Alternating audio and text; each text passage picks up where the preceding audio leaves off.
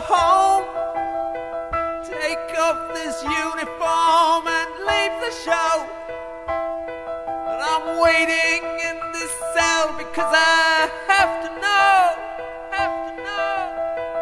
Have I been guilty all this time?